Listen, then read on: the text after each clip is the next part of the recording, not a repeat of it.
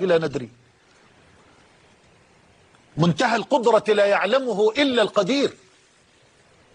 وحدود القدرة عند الملك القدير فحسب. كذلك يحيي الله الموتى ويريكم آياته. هذه آية. وأيضا من أعظم الآيات في هذه القصة أن الله جل وعلا أكد لبني إسرائيل مرة أخرى صدق نبوة موسى وصدق رسالته. نعم. لأنهم قالوا له في أول القصة تتخذنا هزوة قال أعوذ بالله أن أكون من الجاهلين. كذلك يحيي الله الموت ويريكم آياته لعلكم تعقلون. أي رجاء أن تعقلوا عن الله مراده وأن تعقلوا عن رسوله الكريم الكريم موسى مراده.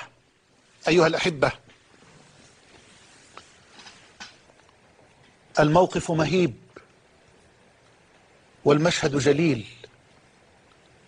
ميت يتكلم في حضرة الكليم الكريم موسى وبنو إسرائيل يحيطون بالمكان كله. والصمت يخيم والأنفاس محبوسة والصدور تعلو وتهبط والأبصار مشدوهة. هذا المشهد يباغت الله بني إسرائيل بنطق هذا الميت واعترافه وإظهار القاتل وتبرئة من اتهم في قتله ظلما وعدوانا.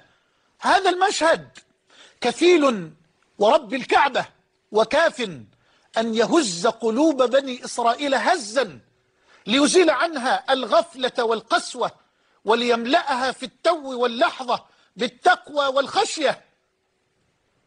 ولكن هيهات هيهات ثم قست قلوبكم من بعد ذلك فهي كالحجارة أو أشد قسوة. وإن من الحجارة لما يتفجر منه الأنهار وإن منها لما يشقق فيخرج منه الماء وإن منها لما يهبط من خشية الله. وما الله بغافل عما تعملون. هذا ما نتعرف عليه في الحلقة القادمة بإذن الله جل وعلا. أسأل الله سبحانه وتعالى أن يرزقني وإياكم العلم والفهم والعمل وأحمد الله أننا من أمة محمد صلى الله عليه وآله وسلم وأصلي وأسلم على نبي الله موسى وأصلي وأسلم على نبي الله محمد وأصلي وأسلم على جميع إخوانهم إخوانهم من النبيين والمرسلين وأردد مضطرا مضطرا بحب ورب الكعبة ومما زادني فخرا وتيها. وكدت بأخمصي أطأ الثريا دخولي تحت قولك يا عبادي وأن صيرت أحمد لي نبيا. اللهم كما خلقتنا موحدين متبعين لسيد النبيين. ثبتنا على هذا التوحيد والاتباع حتى نلقاك يا أرحم الراحمين. لنسعد بصحبة سيد المرسلين في الفردوس الأعلى. أنت ولي ذلك والقادر عليه. هذا وما كان من توفيق فمن الله وحده. وما كان من خطأ أو سهو أو نسيان فمني. ومن الشيطان.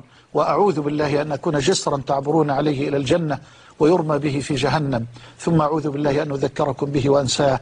وصلى الله وسلم وبارك على نبينا وحبيبنا محمد وعلى آله وصحبه ومن والاه. وجزاكم الله خيرا. والسلام عليكم ورحمة الله وبركاته. خير المجالس مجلس القرآن درس يبين حكمة